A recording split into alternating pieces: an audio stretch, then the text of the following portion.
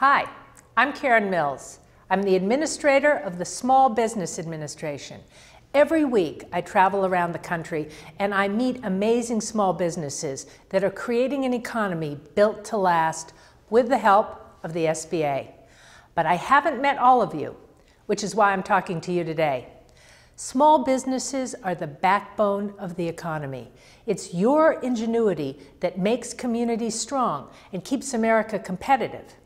Every one of you has a story. So during this year's National Small Business Week in May, we want to hear your stories. Let us know how the SBA has helped your business grow and create jobs. The rules are simple. Create a two-minute video let us know how the SBA helped your business. What's the most rewarding part about being a small business owner? And how has your business and the SBA benefited the local community? We'll pick some of the best videos to be featured during National Small Business Week here in Washington, D.C., and all will be featured on our website, sba.gov. Join me and the rest of the SBA in showcasing all the small businesses that are growing and creating jobs in their communities.